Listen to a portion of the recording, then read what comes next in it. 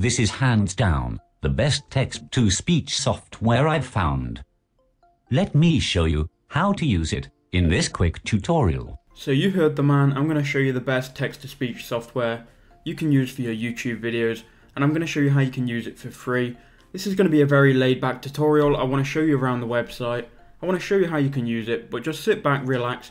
If this video does help you out, please leave a like, subscribe, and also comment down below so we can push this video to more people. But yeah, let me just jump into the video. So the website that we're currently using and that I'm going to show you how you can use is a website called naturalreaders.com. It's a website which allows you to type in text and play that text and also download the files which I'll show you how you can do in a second and I'll show you how you can do it for free. It gives you access to all of these different voices here so you can use all of these different voices for your YouTube videos including US accents, UK accents, Spanish and so on. You can also change the speed of the voices, so you can slow it right down or you can speed it up depending on what you want for your YouTube video. You can also add documents, so you can add a PDF, a text document or a Word document, and then all of these others, and then it'll read out what you've wrote down in that document. I'll show you how you can download the finished file in a second, uh, but let me just show you how you can use this really. In my opinion, this website reads the most natural, there are other ones out there with a better like interface, but this one reads the most natural if you understand how you can use it, and you have to use commas really to make it sound as natural as you can get it.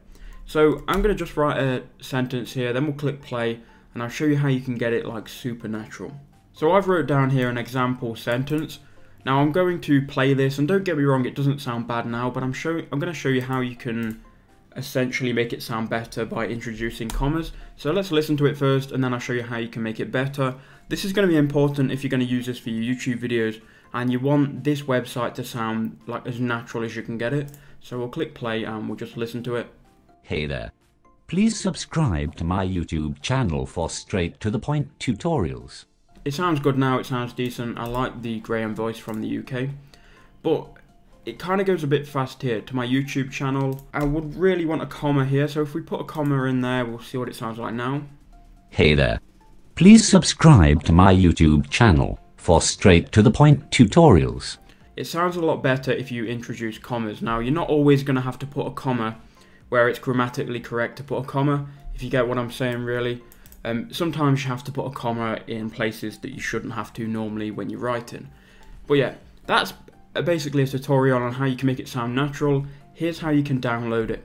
Because you may have noticed that they have different plans here. Now, we're going to ignore all of these plans. What we're going to do is we're just going to record the audio. So we can just take the audio straight from the website without even signing up for a plan.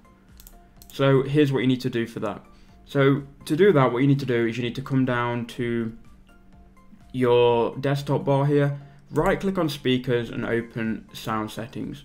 Once you've done that, and this is on Windows 10 anyway, you want to scroll down and you want to go to Sound Control Panel. Once you've done that, go to Recording, scroll down and just right click and we want to show disabled devices and show disconnected devices. Once you've done that, click on stereo mix and you'll see it, you should see it anyway. Click enable, then click OK. Now what you need to do, if, if you're familiar with making YouTube videos, you need to open up a program called Audacity. And what we're going to do is we're just going to record a desktop audio with Audacity. So we don't even have to download the audio, we can simply record it. So if stereo mix isn't showing up here, we're just going to close Audacity. And then I'm going to reopen it again. And again, if you're doing YouTube, if you're using this for YouTube, you'll, you'll be familiar with all of this. Then we can click on microphone and we're looking for stereo mix here, so we can click on that. Then we can start recording, and you'll notice that when I'm speaking, it's not actually recording my voice. That's because it's only recording the desktop audio. Then we can just click play, and we'll notice it starts to record it. Hey there. Please subscribe to my YouTube channel for straight to the point tutorials. And you can record for as long as you like. You can have this read out all of the script. And then once you've got it recorded, we can just play it. Hey there. Please subscribe to my YouTube channel for straight to the point tutorials. So that's really the whole tutorial in a nutshell. You just have to use this website, um, which is one of the better websites to convert text to speech.